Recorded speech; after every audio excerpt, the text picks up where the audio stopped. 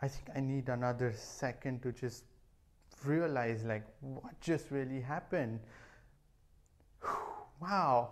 Hello everyone and welcome to another video. Now without wasting much time, let's just get back to the news. Uh, I mean, what really just happened? Like, like all of a sudden the F1 world has just erupted with the news, the two big news, and that is Ricciardo moving to McLaren and Sainz moving to Ferrari. Yes, I mean, ob- obviously we all knew that this this move was supposed to come. Maybe Ricciardo was supposed to go to Ferrari, and then maybe Carlos wasn't supposed to leave McLaren. But then I, I don't know, just everything happened just so quickly. It within a span of half an hour, there were two big announcements, and both of them leading to this.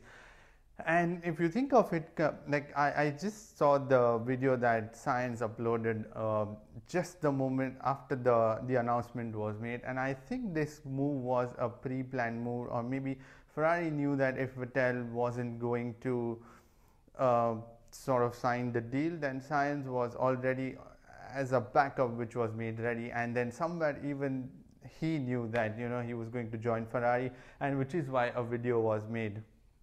I don't know, maybe yes or maybe no. You because it, the way you see the the video that ha- that he's uploaded, he's just cherishing the moment uh, at McLaren and also thanking everyone out there. That that just can't be made within half an hour, right? Or it cannot be made, or maybe it can be made in a day. But then that that was like wow and honestly, I'm really going to miss Sainz and Norris pair, like the bromance which was going on. I mean, every one of us would be missing that for sure. But even more exciting is to see Ricciardo and Norris pair up. Like, finally, that pair is happening and that is for real now. To be honest, 2020 season is, anyways, we are already half year down the line and it's just half year left before we see the 2021 season and I am actually really excited to to see the 2021 season. So uh, I, I don't know what is going to happen but it sure is going to be exciting. Now I don't know where this leaves Vettel.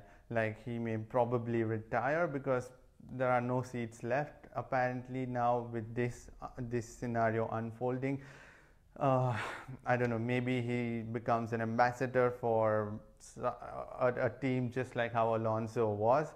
And also, does that mean Alonso returns to Renault? I mean, that will be really interesting because we've been seeing Alonso teasing us with some posters. So, probably. Anyways, let me know in the comment section below of all these latest developments. Where do you see Vettel going to? Do you think Alonso is returning back to Formula One? And also, what do you think of the pair of Sainz and Leclerc? And also Ricciardo and Norris. Anyways, I just wanted to make this announcement and wanted to know like what do you guys think about this? So let me know in the comment section below and I shall see you in the next video. Bye bye and take care.